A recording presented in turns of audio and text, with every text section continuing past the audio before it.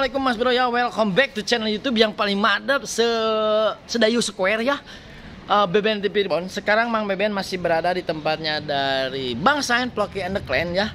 Terus kebetulan kan Mang Beben teh ke Jakarta teh bawa si Maura ya. Nah sekarang teh Mang Beben uh, janjian sama owner sebelumnya dari si Maura ya ada Kang Rangga Miracle Dog Squad yang jauh-jauh datang dari Bekasi kangen sama si Mora katanya. Nah nanti kita bakalan lihat ya kira-kira si Mora bakalan inget nggak ya sama ownernya. Terus kalau misalkan nanti si Mora disuruh memilih, dia bakalan lebih memilih Mang Beben yang baru sekitar dua bulan tiga bulan merawatnya atau dia bakalan memilih si Kang Rangga ya pengen ikut balik ke Bekasi. Jadi jangan ke mana-mana tetap cekidot. Jangan lupa buat di like, di komen, di share sama di subrek. Kalau ada iklan jangan di skip, oke? Hatur thank you Mas Bro ya Akhirnya ini kita ketemu sama Kang Rangga ya Kang Rangga sehat? Alhamdulillah sehat. Ya, nah jadi Kang Rangga itu berarti eh, kali kedua Kang Rangga masuk di vlog Mang Beben ya Setelah sebelumnya Mang Beben ke Jakarta tanpa membawa si Mora Nah sekarang Mang Beben ke Jakarta lagi Membawa si Mora Kang Siap. Gimana Kang. kabarnya Mora itu? Alhamdulillah sih sehat Kang kalau ke Mang Beben sih kemarin dites Mang Beben sepedahan di sini Kang Hah? Dia ngikut-ngikut Oh gitu. Heeh. Ada nanti tayang vlognya ya. Oh, siap. Nah terus ini eh, kira-kira si Mora bakal inget nggak Kang ke Akang ya? Nah itu dia makanya kita juga penasaran nih Mang Beben.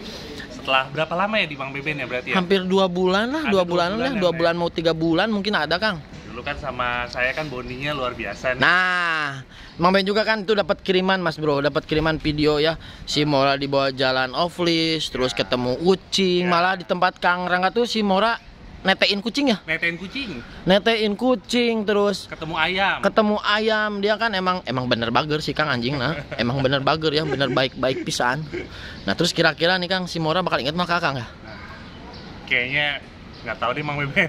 Deg-degan juga. nah terus gini bentar si Mora dulu Akang rawat dari usia berapa bulan Kang Tiga setengah bulan.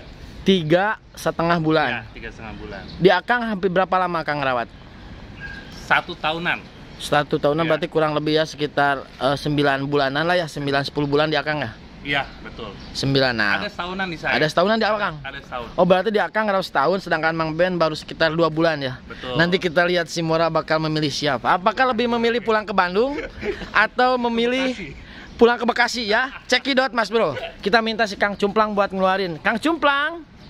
Alah Cumplang udah dua euy. Plang keluarkan si Mora Kang. Oke Mas Bro, masih bersama dengan Bang Kevin yang aduh ini katanya SMS SMS Mas Bro, SMS. Ah, ini nih. It, it. Eh, kayaknya dia nggak lihat ownernya tuh. Dia langsung ngikut Mang Beben tuh. Ah, iya. Ih, balik lagi. Ih, balik lagi lihat. Tuh, balik lagi. Itu owner kamu. Sini saya. Mora bingung Mang Beben. Bingung dia. Ih, balik lagi. Kenapa? Apa dia lupa gitu ya? Hah? Ya, Ini Hah? kalau ngeliat begini nih luar biasa berarti. Luar biasa. Saya lega Mang Beben. Hah? Lega. Lega gimana, Kang? Leganya gini, yang saya takutin adalah deg-degannya begitu dia ketemu saya lagi, dia langsung nempelnya sama saya. Nggak mau pulang lagi. Nggak mau pulang. Lupa ke saya. Iya, takutnya ada trauma apa di sana bagaimana kan. Tapi kalau melihat begini biasanya, berarti di sana Mang Beben rawatnya luar biasa. Amin. Tuh bingung kan lihat tuh. Oh. Tuh. Pilih saya, pilih Mang Beben, apa pilih Kang Rangga tuh? Ini. Itu, itu, itu. Wah. Ah. Oh, Mas Bro.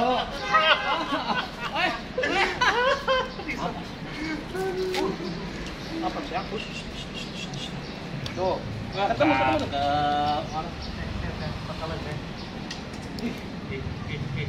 Setelah dua bulan tidak bertemu, Mas Bro. Sekarang baru bertemu lagi si Umora sama owner barunya. Ini lihat, ikut nggak? Mau ikut nggak? Mau ikut pulang nggak? Mang Beben, ini namanya ganti kalau udah begini Mang Beben. Apa? Pengabdi Mang Beben. Untung lain pengabdi setan ya Mas Bro. Ternyata Mang Beben kira nyebutkan pengabdi setan sih ya. Enggak lihat matanya tuh kayaknya mengabdi banget ke Mang Beben liatin. Nah itu Mas Bro ya. Kadang Mang Beben juga eh, bingung juga Kang. Ah. Jadi bingungnya tuh biasanya kan kalau misalkan anjing itu pengen ngebonding ya, Hmm. itu kan biasa harus miara dan kecil atau Ya, apa ya. gitu. Nah, untuk kasih si Simorannya agak langka juga Mas Bro. Jadi Mang Beben rawat dia usianya udah hampir setahun lebihan lah, lebih dikit gitu kan. Terus Mang Beben juga ngerawat cuman baru sekitar dua bulan. Tapi ke Mang Beben juga bondingnya udah bonding banget. Hmm. Malah sampai sampai lupa ke owner sebelumnya. Oke ya, kita tes ya kita. Mang Beben bakalan coba tes nih si Mora kira-kira kalau misalnya dipanggil sama Kang Rangga sama dipanggil sama Mang Beben dia bakal milih siapa. Ya. Oh.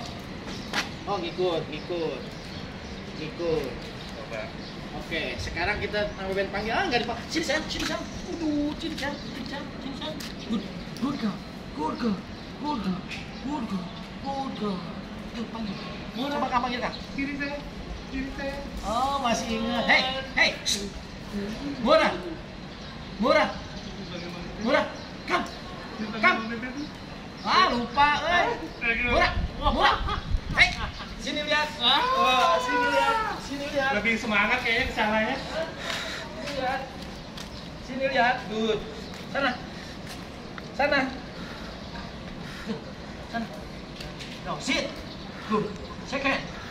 Good.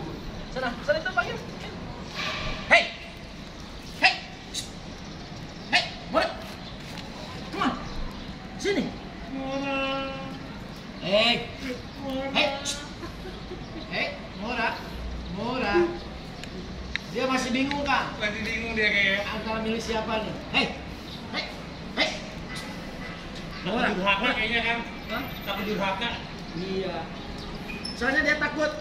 Misalkan nggak ngikut Mang Beben pas dibawa ke Bandung dia nggak bisa makan.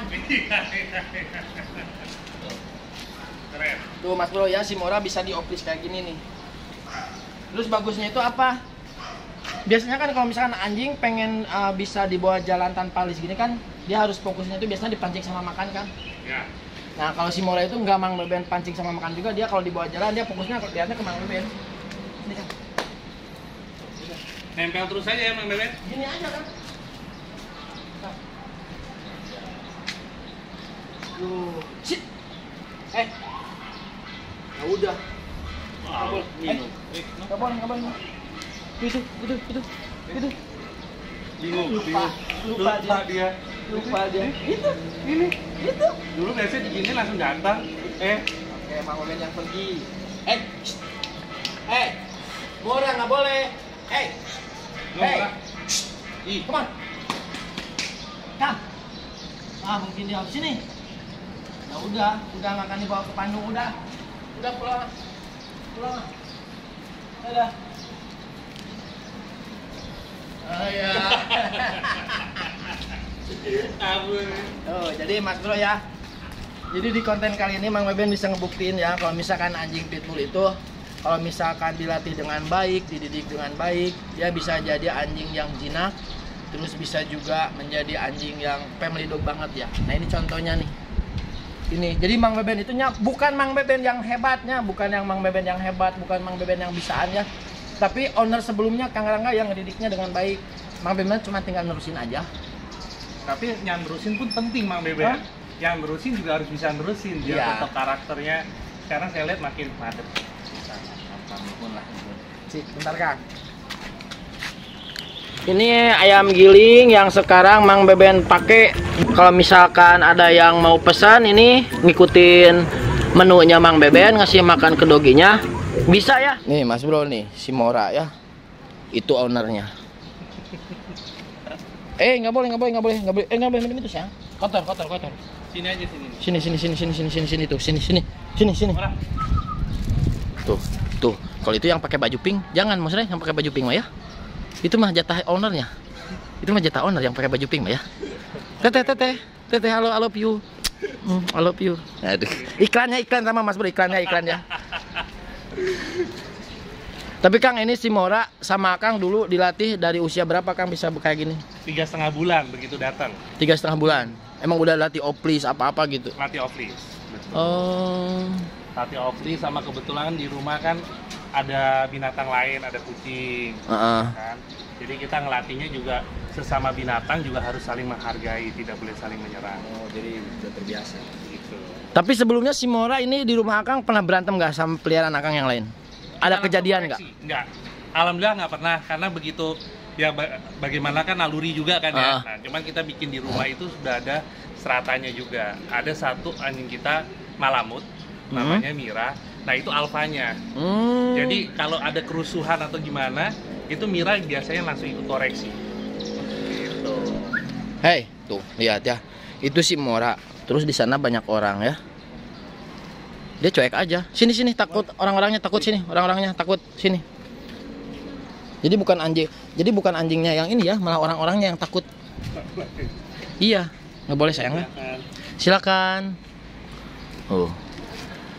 Tuh Mas Bro nya. Tah. Wih. Anjing super kalem ini. Ini bagus. Anjing bagus. Nah ini rencananya Mas Bro si Maura itu mau Mang Beben kawinkan dengan si Capo ya. Gimana Kang? Dapat izin nggak? Lanjutkan, Mas. Ah, gaskeun ya. Gaskeun. Jadi kenapa Mang Beben kepikiran si Maura buat dikawinin sama si eh, siapa? Si Capo. Jadi Mang Beben teh ya udah banyak main ke tempat-tempat owner pitbull.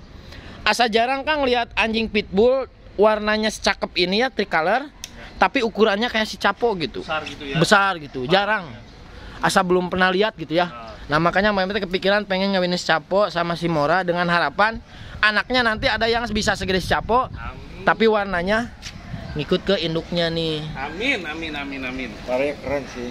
Hah? Bagus. Gimana Bang Kevin ini si Mora keren nggak karakternya Mantap. Karakternya bagus, terus warnanya juga bagus. wih cakep banget ya Warnanya juga bagus. Padahal dia betina loh. iya Tapi- betina Gini kakinya loh. Keren. posturnya postur jantan ya Iya, posturnya postur jantan. Ototnya juga kelihatan ya. Fotonya kelihatan. kelihatan orang mainnya di sawah terus Kang Makin jadi kayaknya sekarang. Tapi kan kalau anjing kayak gini, kalau untuk ke ikut spring pool bisa nih. bisa badannya kecil bagus. Enteng ya badannya ya dia. Iya, iya. Benar. Tuh. Tapi kalau segini mah dia nggak lupa ya sama ownernya ya. Wih. Oh. Dia mungkin masih ingat Mas Bro ya si Mora itu dia masih ingat ke owner sebelumnya. Cuman si Mora itu lebih tak lebih ketakut kalau misalkan dia ngikut ke owner yang lamanya kalau pas di Bandung dia takut nggak dikasih makan sama Mang Beben. Jadi ingat masa-masa kecil doang. Heeh. ya. Jadi dia tuh cuman gimmick aja Kang sebenarnya mah ini teh kayaknya mah. Tapi mukanya tegang. Nih kita lihat ya, lagi dipegang sama Kang Rangga. Ini Mang Beben coba ngejauh terus kita panggil ya. Nih, kita coba panggil nih. Kita coba panggil nih, bentar ya. Ih nggak dipanggil juga kamu mau udah nyamperin, hei. Mora. Belum pulang, belum pulang, belum. Belum pulang, belum. Dia udah mau pulang ke Bandung aja sih yang ditinggalkan Mas Bro. Udah kangen Bandung, jangan dulu atuh. Kita Jakarta dulu jalan-jalan, Bro. Ibu kota, Bro. Bro. Perlu jalan sekali ya, Kang ya? Iya. Makasih banyak buat Kang Rangga yang udah jauh-jauh dari Bekasi datang ke sini, Kang. Eh, Kang, Akang ke sini bawa anjing nggak? Bawa Si Oh, yang temennya si Mor itu ya? yang Molly. Pitbull. Pitbull. Oke, nah ini kan ini Mas Bro nih. Si Mora udah ketemu sama ownernya, ya. Dan ternyata responnya dia masih ingat juga gitu ya, masih ingat sama Kang Rangga. Kira-kira nih kalau misalkan si Mora kita ketemuin sama teman mainnya dia dulu, Pitbull juga, si Molly punya Kang Rangga, dia kira-kira bakalan inget nggak ya? Jadi pokoknya jangan ke mana-mana, tetap pantau channel Mang Beben, jangan lupa di like, di komen, di share, sama di subrek. Nanti di episode selanjutnya kita bakal mempertemukan si Mora dengan si Molly, oke? Hatur nuhun, thank you.